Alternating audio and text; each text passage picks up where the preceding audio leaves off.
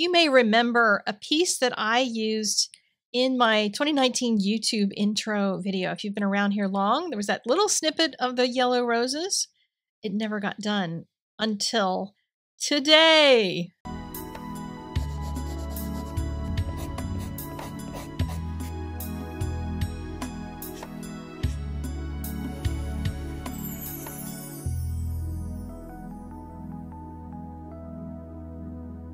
The prospect of continuing with this drawing was daunting in the first place because I had no idea what colors that I had used. I had zero clue. I also have a different style now than I had back in 2019. I mean, everything's different. I have a different pencil sharpener. Like, I'm going to be using my long point pencils for this. So I sharpened all the colors that I had picked out. This pencil sharpener gives them that long point. It looks like it's eating the pencil, but it's actually just making that long point. It's eating the wood. It's not shaving off of that pencil tip. So I've got them all set aside in a cup so that I continue with the same colors. I knew this was going to take me a long time to do, and it ended up taking about five days of working 12 to 14 hours a day on it.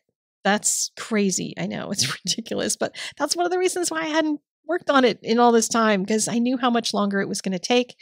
And the only way I was going to get to pieces like this was going to be to adapt my YouTube schedule. So thank you for being tolerant of me changing the way that I'm doing my YouTube. So it's going to give me space to do projects like this because I have the time to give to it.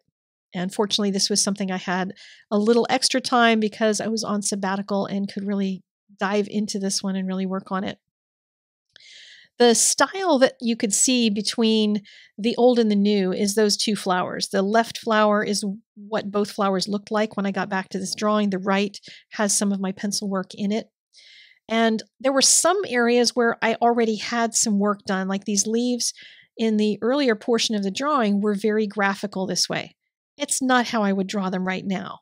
That's just not the way I would do it, but I decided to follow along with that and add some other things to it, like cast shadows. There's a lesson in the recent Convincing Shadows class that I just launched, uh, I think it was two months ago, about cast shadows and the power that they have in a drawing to convince somebody that you know what you're doing. Because even though I don't have the reference for these leaves and for this bud and for these roses, I'm imagining where those roses might be dropping a shadow onto the bud. And I'm making the shadow go up and down with the surface of that bud so that it follows along with that contour of the shape. And even though I have no idea if that's right, I have no idea if that's the way it should be, it starts to fool your eye into thinking that it works. Now, the most difficult part of this entire thing was by far that background. That took me the most time, partially because I was trying to match color, and that alone was impossible. I could not find a combination that worked the same as the colors that I had started out with in the earlier part of the drawing. It was just not going to ever match with just one pencil. So it was apparently a couple of pencils. So here you can see I have a couple of yellow greens in some areas that I'm coloring with right now. I had other colors that were more of a blue green color.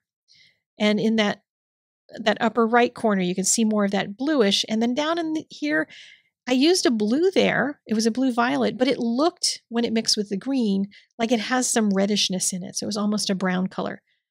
What I opted to do was just let all those colors move back and forth between each other because I couldn't make one consistent color for the whole thing. Since I didn't know where I'd started, I had no idea where I was headed.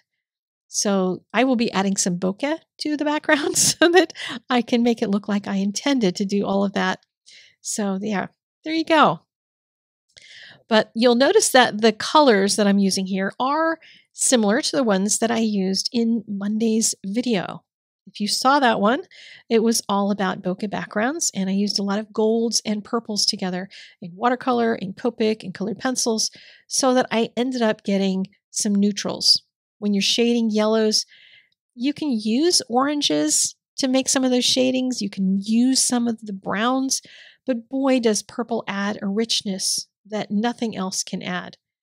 Whether you're going with really pale soft kind of purples or really rich, deep bluish ones, play around with which ones start to push the image back further and which ones pull it forward. Because there's different points in here where I let the rose have more life to it because I added more of a pinkish purple versus a bluish purple. But you don't know that until you try it. So keep a scrap sheet with you and try out the colors and see how they're going to work together because any combination of colors is going to act differently. As I worked through the rose, I ended up leaving less and less of the white on the edges of the rose petals because I really liked it better that way. The second flower, I'm not going to color here. It is on the Patreon extended video. So if you'd like to become a patron, there is a link in the doobly doo. You can see the longer video, and I will be putting extended cuts of my Friday videos on Patreon. So you can always go see those if you become one. All right, next up, I'm forming my kneaded eraser into a tool that I can use. And you can stretch these, squish them, pull them, twist them, do all kinds of things to them. And they are self cleaning, basically. I wanted it nice and soft so that I could make some bokeh erasure backgrounds.